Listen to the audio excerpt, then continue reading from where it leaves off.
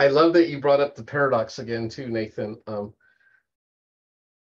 paradoxes are one of my absolute favorite things. And being having a logical, analytic mind, but I'm also intuitive.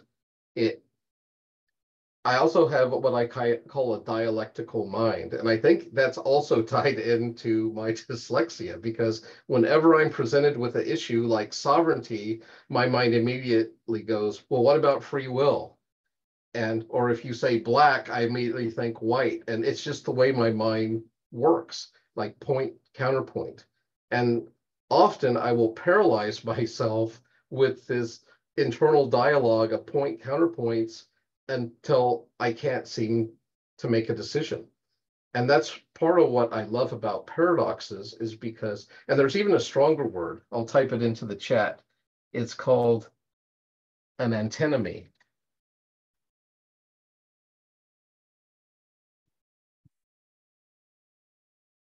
And an antinomy, so a paradox I would define as two apparently contradictory truths. An antinomy is two logically contradictory truths. And Kant had four of them. And one of them, surprise, surprise, is free will and sovereignty. Okay.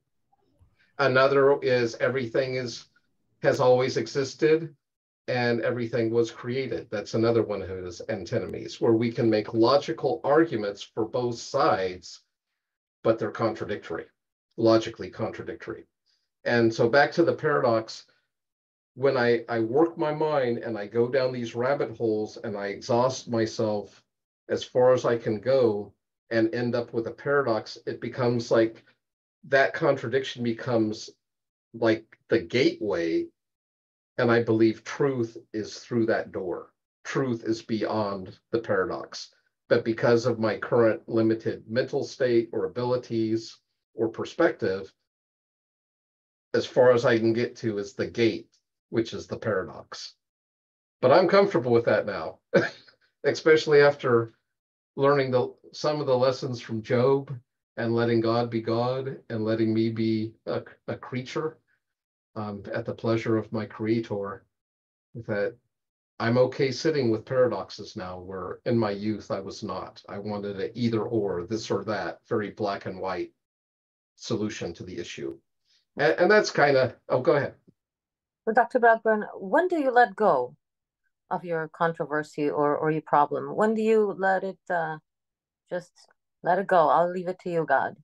When, when is that? When when you get to a certain point, right? Uh, of your uh yeah um I, I want to be careful how I word this.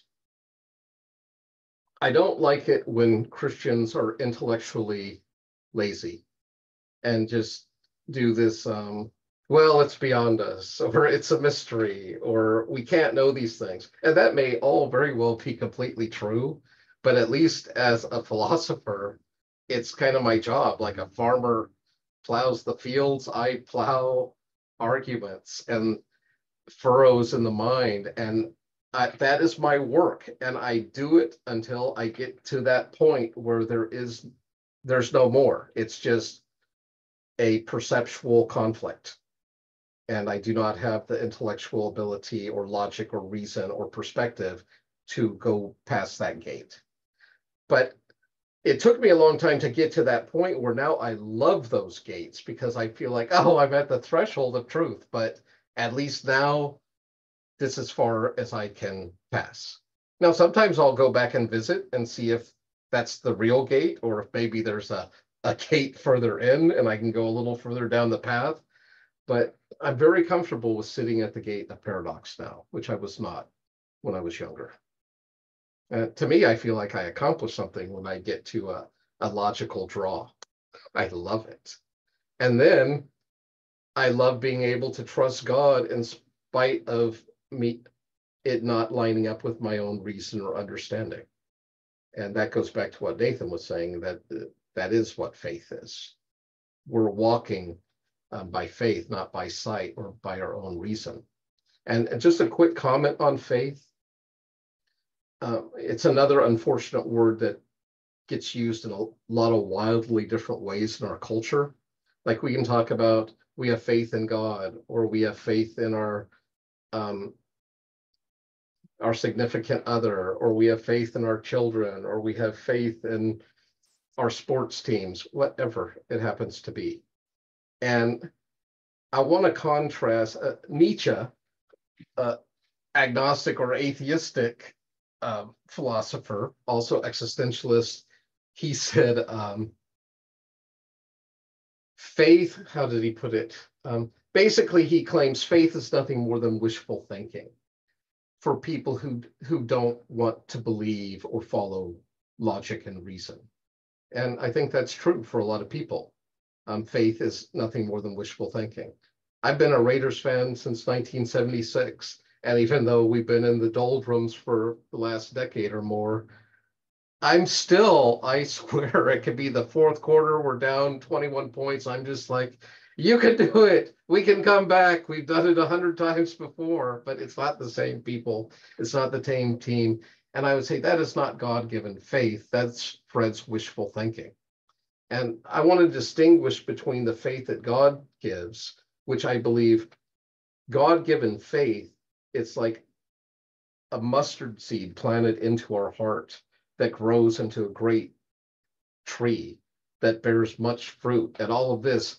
But the key is it didn't come from us, it is a gift from God to us and there's lots of passages that refer to that of like um, the Pharisees were after Jesus, and he's like, "Why are you all so?" Rough? I'm doing a really loose translations right now. Forgive me, but he's like, "Why are you all so upset?" He says, um, "No man can come to me except the Father draw them."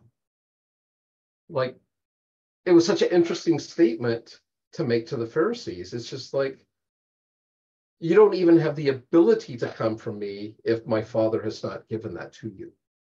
And that's what I would call the gift of faith that's salvific or brings us to a saving knowledge. And not only that, it's the paradox of faith. It's the biblical definition is faith is the substance of things hoped for, the evidence of things not seen. Wild, I love it. And Kierkegaard's definition of faith is it's the surest form of knowledge. But that's the God given kind, not our wishful thinking kind. Okay, I've talked enough. When Jesus says, like, no one can come to me unless the Father draws them, could that be interpreted like kind of like how Rumi said, like, like that dreams call you? Like, if you have a dream, it's not like, oh, I have this dream. It's a no, there's this idea out there that's calling you towards it like you know like and so that could be as simple as like uh, you can't come to me unless unless you you think about it essentially or you've had that thought right? But the thought itself comes from god. Exactly yeah. Yeah. Yeah how how interesting to bring up rumi. I love it